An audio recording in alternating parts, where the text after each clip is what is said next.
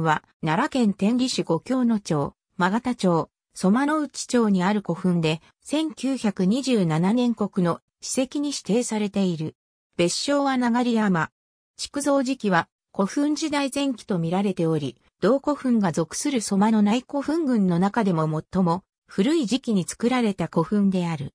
後方部中心には縦穴式石室があるが、すでに洞窟を受けていると見られている。第二次世界大戦中には、旧日本軍により対空砲の陣地が置かれ、この際に縦穴式石室の石材が掘り出されたとされる。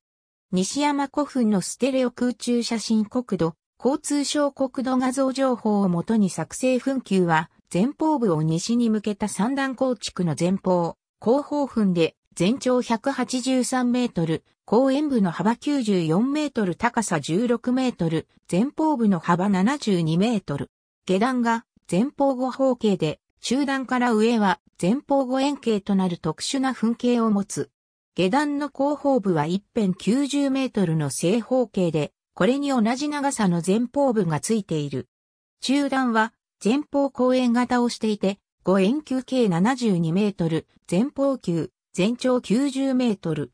墳頂部は計30メートルが平坦で、前方部方向に7メートル下がって細長い前方部が続き、前方部先端はくびれ部より2メートル高く主軸に直行する横長形となっている。後方部高さは南側で15メートルで、前方部の高さも南側で10メートル。後方部頂上が洞窟されている。その時の記録から、縦穴式石室であったと推定されている。緩やかな傾斜地に立地し、3本の尾根の中央部を、墳丘に、北と南の尾根を外包みとして、自然地形を有効に利用しているため堀井幅は一定しないが、全長200メートル以上の双方中方墳とも考えられる。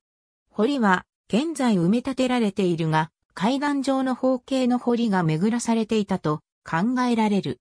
現状では前方後方形の墳丘とみられるが、地形開閉が進んでいることなどを考慮して、双方中方墳の可能性もある。これは日本にある前方後方墳の中で最も規模の大きいものである。墳丘は一段目のみが前方後方墳の形で、その上に前方後円墳が乗るという極めて得意な形をしており、当初からこの形であったことは間違いないと見られている。後方部からは、銅鏡片、壁玉製矢尻、管玉、鉄剣、鉄塔片が出土している。前方部南側号内から壁玉製車輪石位置が検出されている。